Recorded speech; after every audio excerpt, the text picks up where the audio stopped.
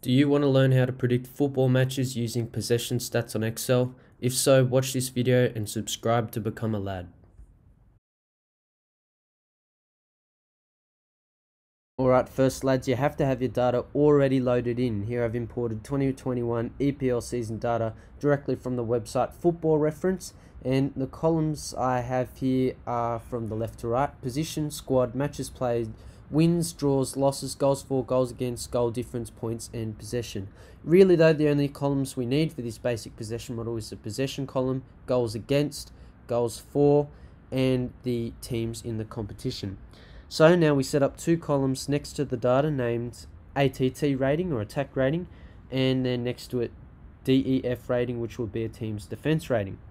So a team's attacking ratio or rating is the ratio of its goals scored to the competition average for goals scored. So we can work this out by dividing a team's goals for by the competition average for goals for. So find the competition average for goals for and goals against. They'll be the same by using the average formula.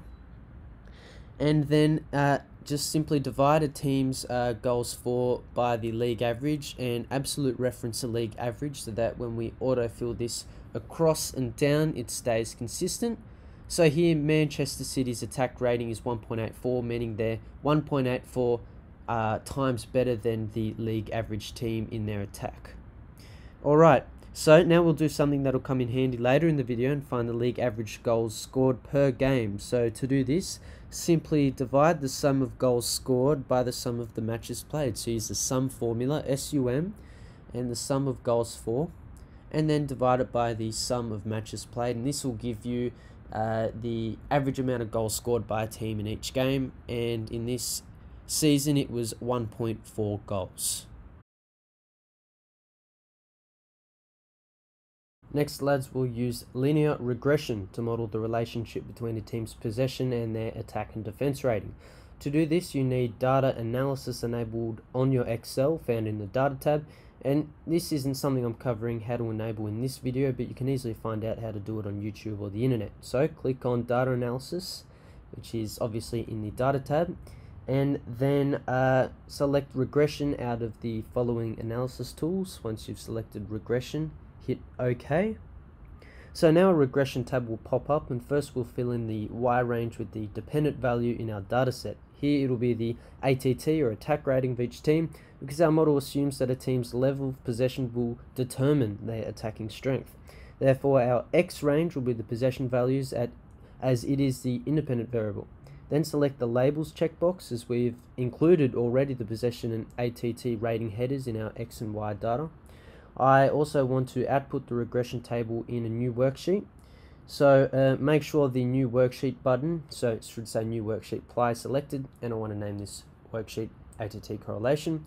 And then in the residuals box, select residuals and line fit plots boxes. Once you've done that, hit OK, and the new sheet ATT correlation will come up.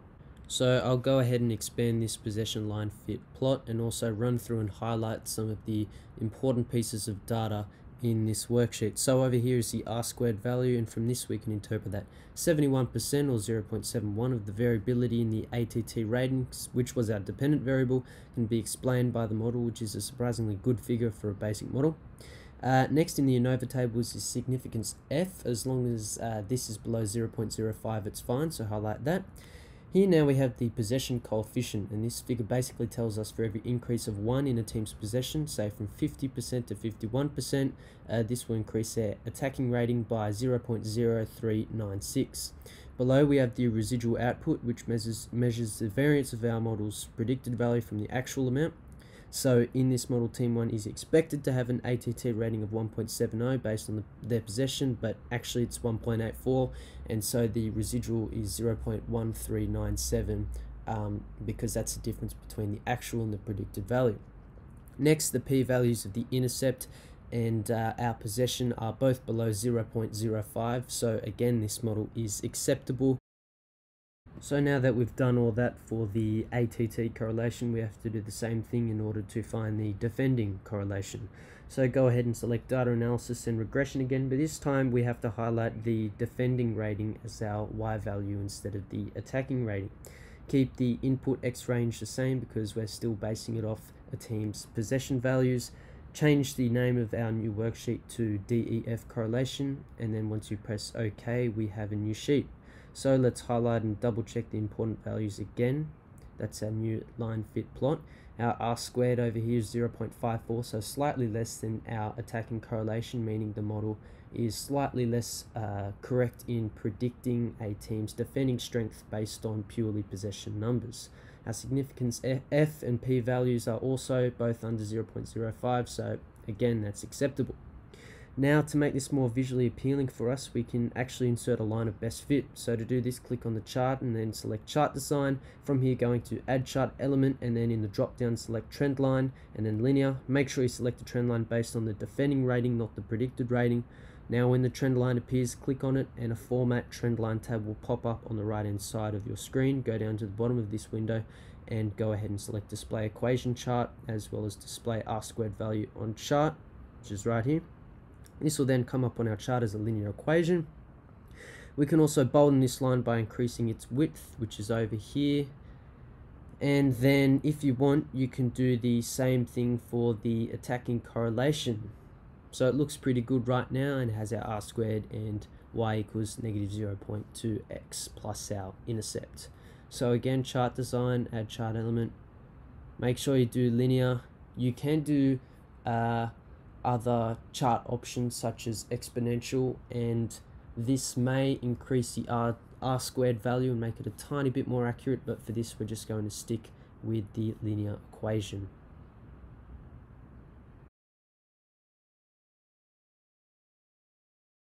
Alright lads, to find a team's expected goals within a matchup, we first need to set up the equation we extracted using linear regression. So in columns to the right of our raw data, enter the headers ATT correlation and DEF correlation. So just separate them with um, one column, in our case column Q.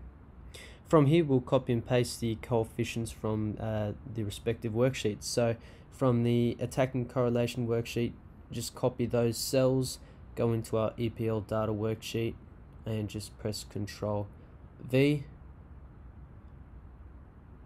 And so from each worksheet we should get um, an intercept and possession coefficients and they should obviously be different. Great. Uh, next we need to allow the user, which is us, to select two teams to face in a hypothetical matchup. So for this video I'll make a drop down list by first naming the range of our teams. So highlight your range and I'll name this teams. Hit enter.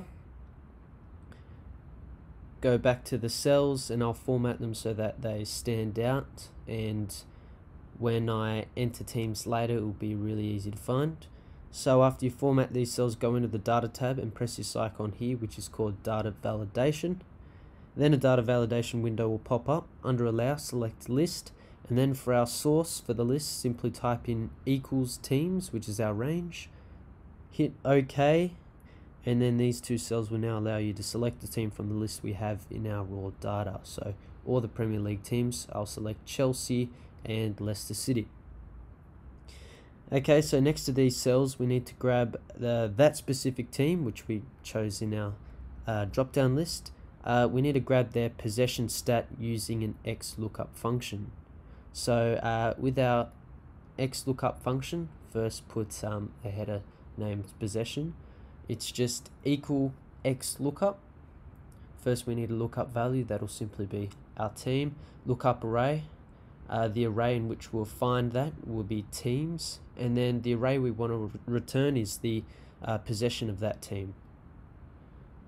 So absolute references, um, so it can't move. Close bracket, and you can also absolute uh, reference the column for P7 but it's not totally necessary for what we're doing here. And you can see Chelsea's possession is 61.8 which is what we've got here. If we change it Liverpool's possession is 62.7 therefore this formula is right.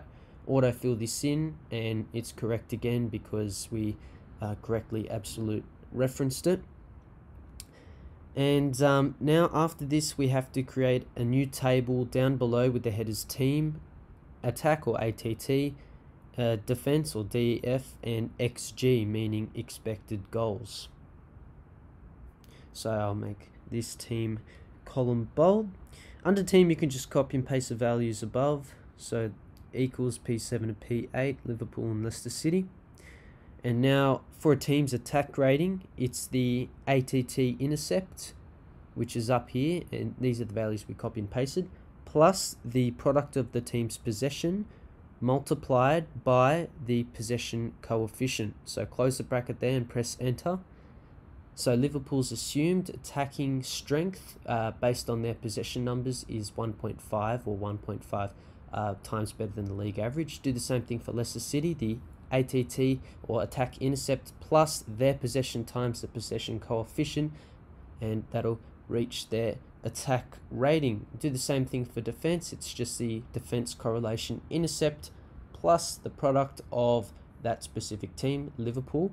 Uh, Liverpool's possession multiplied by the possession or the defending uh, correlation possession coefficient.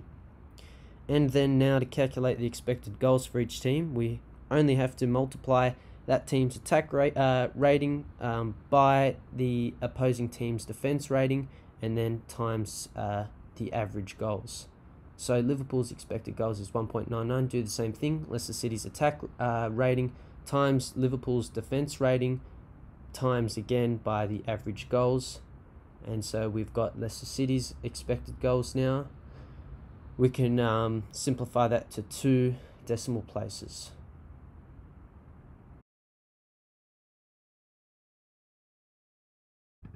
Now we have to run simulations to work out the win, draw and loss probability for each team. So create a new worksheet and name it simulations.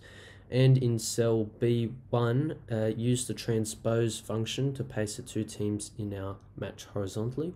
So just highlight Liverpool and Leicester City here and it'll translate that from a vertical list to a horizontal one. Next, I'm going to use the binomial inverse function to simulate the goal scored by team. So binom.inv trials will put 10,000 and the probability for our trial will be our expected goals. But it is really important that you absolute reference this and then divide it by the amount of trials we've done, so 10,000. Next, we've got the alpha, and I want to use a random function. So put RAND and then open and close bracket, finish the formula, and when we uh, backspace or refresh the cells, our simulated score line will change each, each time for Liverpool. If we do the same thing for Leicester City, 10,000 trials, expected goals is our probability S. Make sure you divide that by the amount of trials, and then our alpha is again the RAND function and there we have our first simulated match. So each time we refresh, there's a different score line um, and it refreshes every time. So now we have to put the header trials in cell A2 and then under this I'm going to use the sequence function to spill a list of 10,000 which will represent 10,000 games. So type in equals sequence and this is a spill function so rows 10,000 open and close bracket and then it spills 10,000 um, columns. This represents the amount of games we're simulating, that is 10,000. So uh, now highlight this whole range and the shortcut to do this is the control shift arrows. So click on trials, control shift arrow right, control shift arrow down, go into the data tab and then select what if analysis, then data table. So what if analysis data table is the third row here leave the row input cell, but for the column input cell, um, enter a random cell not being used, and that's away from the main dataset. Press OK, and your simulations should appear. If you scroll down, they're all different. And each time you press backspace, they should update. If you're simulating a larger amount of games, say 100,000 or a million, and it'll take more time to load, but because we're only doing 10,000, it's easier.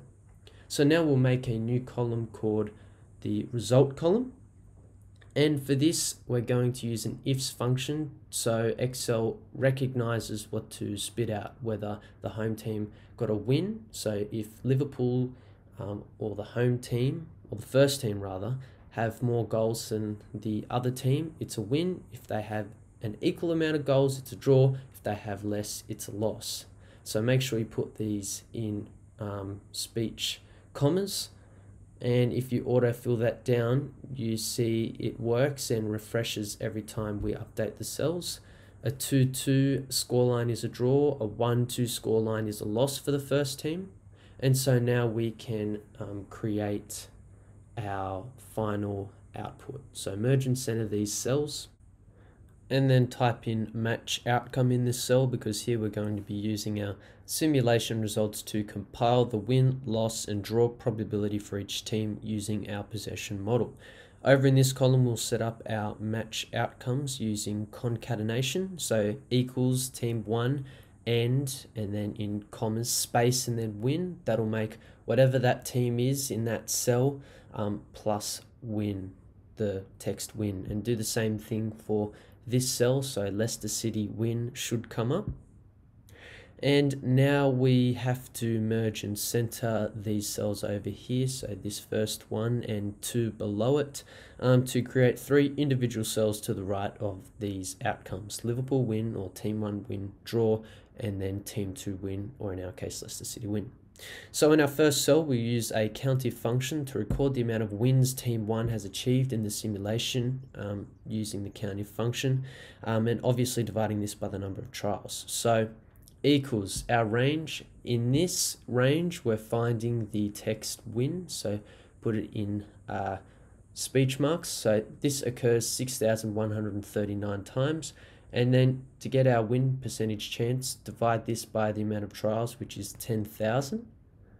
And then so when we press enter, we see that Liverpool win 0.6046 um, times out of one or um, 60.46% of the time. So let's do the same thing for draw.